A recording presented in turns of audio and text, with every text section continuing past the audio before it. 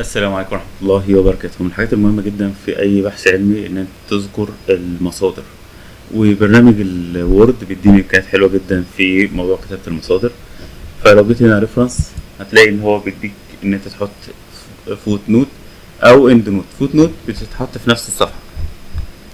يعني أنا لو جيت هنا مثلا كده وقلت له insert footnote وكتبت هنا مثلا المرجع الأول.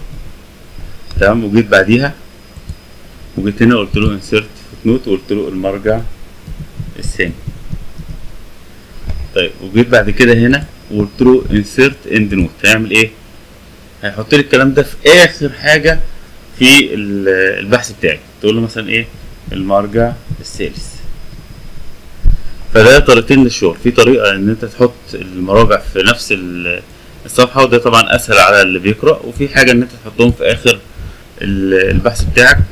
وممكن على فكرة تعمل select كده بعد ما تخلص البحث خالص وهتطبع تعمل select لكل المراجع في كل الصفحات مرة واحدة. يعني لو في حاجة في الصفحة ديت وقلت له هنا footnote وقلت له المرجع الرابع. وقلت له select all وبعد كده نزلت تحت خالص. وجيت هنا وقلت له أنا عايز أعمل insert ل page break. وقلت له كده هيجوا مع بعض. المرجع الأول الثاني الرابع التالت طبعا إحنا كنا مختارينه من النوع اللي هو endnote طيب ممكن تبدل بينهم؟ أنت مثلا واقف آه، هنا. ممكن تيجي هنا تقول له أنا عايز ال previous footnote فيبدأ يجيب لك اللي يبدل بينهم. طيب ممكن تقول له show notes فيبدأ يجيبهم لك. ممكن تدوس هنا على الخصائص هتقول له ال footnote عايزها أسفل كل صفحة أو below text تمام؟ هتظهر معاها.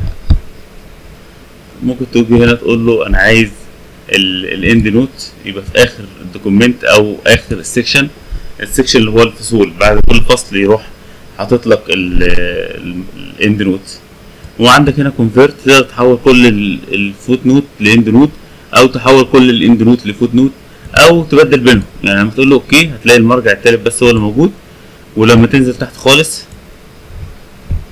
في آخر صفحة هتلاقي إن هو عكسهم مع بعض.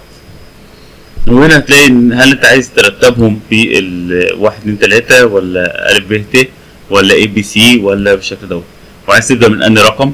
وممكن تضيف رمز معين يبقى مثلا at 1 at 2 at 3 وهكذا. الأرقام هل أنت عايزها تبدأ continuous من أول رقم للآخر ولا كل فصل يبدأ يرقم من اول جديد ولا كل صفحة. هو العادي إن إحنا بنرقم لكل section بس عندك الاختيارات.